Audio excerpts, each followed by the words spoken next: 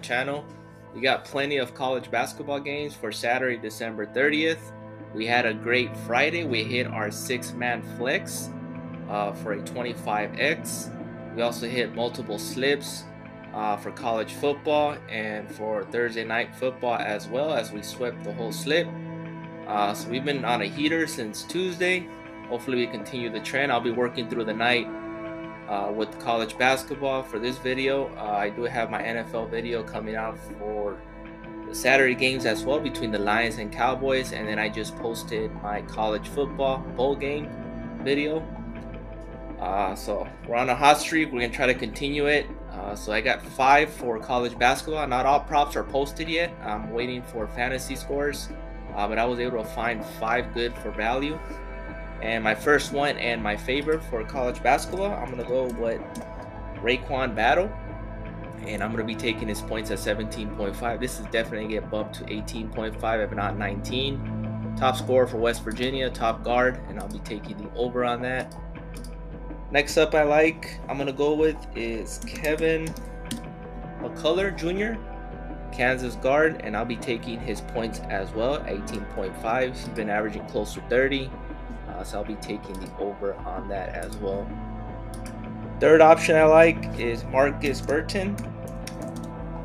And for him, I'll be taking his PRA. His points is not bad at 13.5, uh, but he does get a lot of rebounds and assists. Uh, so I'm going to be taking his PRA that has a better value.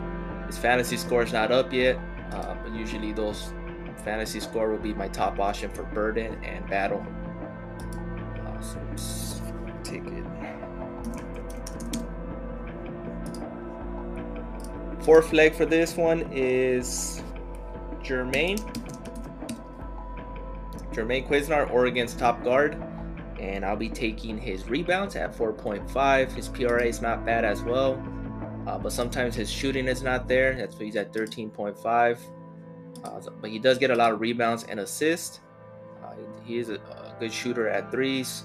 I don't be taking his rebounds here, given that he's going against UCLA. Should be a good matchup. He had 10 against Tate, but he does average about six. So I'm going to be taking his rebound. This is definitely get bumped to five closer to game time.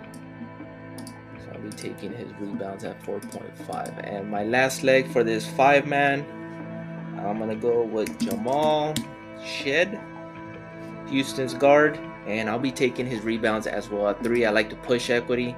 I think he might have him at three, but I think he'll get four against Penn. Uh, hopefully, he does get four, but worst case scenario, he pushes at three. So those completes my five man. So mix and match, pick your favorite. You don't have to follow all five. I'm just providing the value that I like that I'll be taking on a five man slip. Uh, my first top two will probably be my favorites if you're taking two mans, uh, RaeQuan Battle and Kevin McCullar Jr. Marcus Burden if you're doing a three man. So good luck, mix and match. Please like, subscribe, and comment. Appreciate the support. And I'll see you guys in the next one.